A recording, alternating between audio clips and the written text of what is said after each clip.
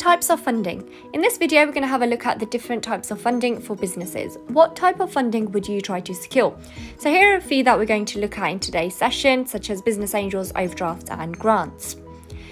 So, when starting up your own business, you need to look at the type of money funding you want to obtain and how much, depending on the type of business it is. So, personal savings are the best way to fund your potential business, especially a startup business. It is low risk and you'll be putting your own money into it.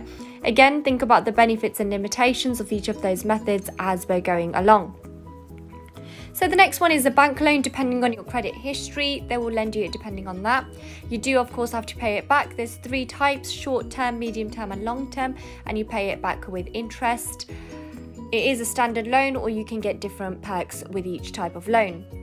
A credit card may be easier to apply than a loan, but you would only use to secure a small amount of money. Your credit limit may increase over time if you pay back when you have initially borrowed it.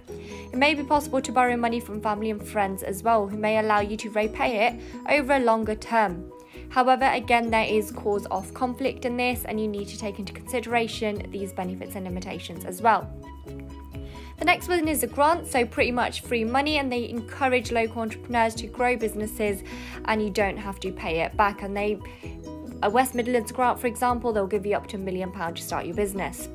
The Prince's Trust is a charity that supports disadvantaged and vulnerable young people. Again, getting young people out there to start their own businesses, so helping the local community. So for the next one, you could apply for an overdraft on your existing bank account. This may be quite easy to do. You need to do it in advance and speak to your bank. Business angels are those, for example, in Dragon's Den, you've got Deborah Meaden and Lord Sugar. All of these are investors who have a lot of money and they will be willing to give you money to, to carry on or expand your business in return of a share of that business.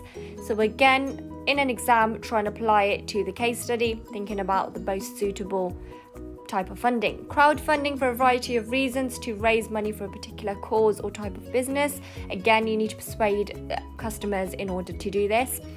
Many businesses use trade credit as well, which enables the business to acquire goods on credit. So it's kind of like hire purchase and you can pay it back at a later date. So, again, negotiating with a supplier and the business may have a period of time before they have to pay it back. Again, it will help your business. So, have a look at this case study. If you want to have a go at it, then it will be great. I'll give you a few minutes to do this. Lauren wants to start up her own business making customized t shirts. She has some experience in doing this and she enjoys it. She'll use her spare bedroom at home to work in, but will need equipment, materials, fixtures, and fittings as well as packaging. She wants to advertise and mostly do this online, and she'll invest into an effective website as well. She will need £2,000 to start up her business. So, what you need to do and start thinking about based on the different types of funding we've just looked at, recommend which type of funding would be the most suitable for her. So, in this kind of exam question slash coursework, you would need to think about what type of situation she's in, how much money does she need, is it an awful lot she needs, or not quite so much. So, again, think about that. And if you have any questions based on this, leave it in the comments below. Thank you.